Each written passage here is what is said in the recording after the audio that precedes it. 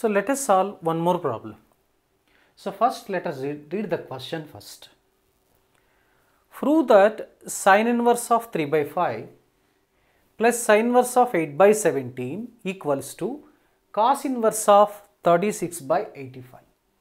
So as keeping you of the strategy of problem solving or strategies of problem solving, one of the strategies is actually restating the problem. So the problem can be restated and we can solve it. So that is one of the strategies of the problem solving that you might have come across the problems of solving techniques.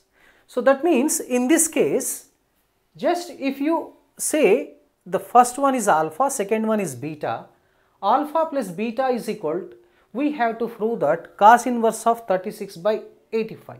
So the same problem can be restated as cos of alpha plus beta is equal to 36 by 85.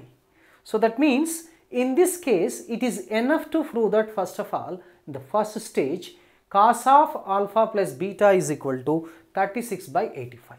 But again here one question will arise. So in order to find out the cos of alpha plus beta what sort of the elements are required here.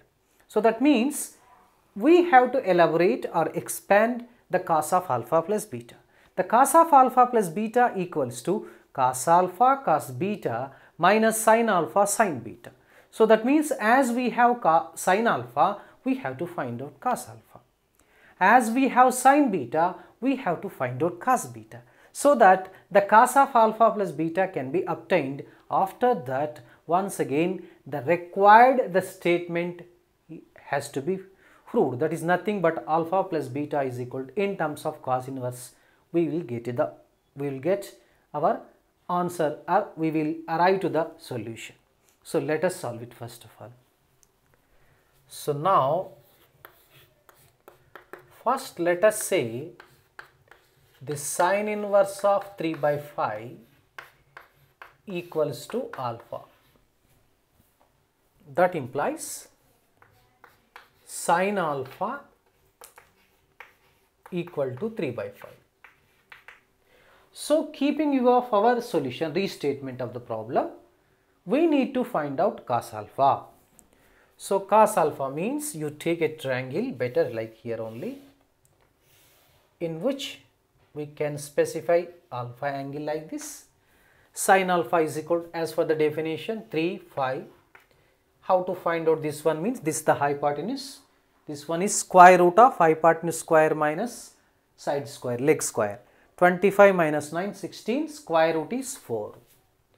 So now we can write here cos alpha. So what is cos alpha? Adjacent side by hypotenuse that is 4 by 5. Okay, we leave it now.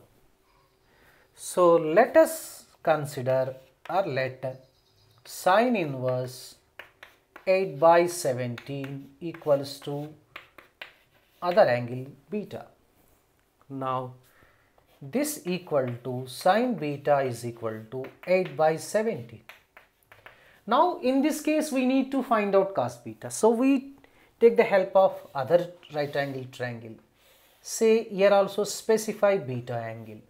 So as for the definitions sine beta is equal to opposite side 8 this is 17. Now the third side we have to find out. So that is 17 square is 289 this is 64 289 minus 64 is 225 what is the square root of 225 it's very simple.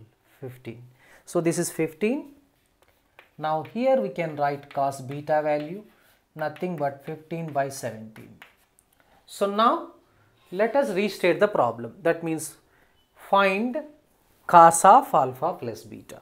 So that means consider cos of alpha plus beta. Cos of alpha plus beta is equal to expansion. Let us write its expansion form. So cos of alpha plus beta is cos alpha cos beta minus sin alpha sin beta. This is very very important. Not plus minus sign will get it because it is similar to cos of a plus b formula. So now this cos of alpha plus beta can be written as like this by substituting respective values.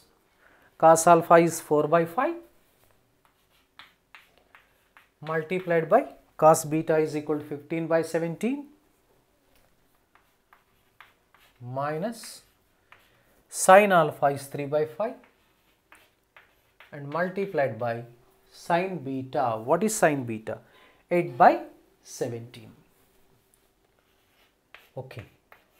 Now let it be simplified. 60 by 85 minus 24 by 85. 85 is the LCM. 60 minus 24.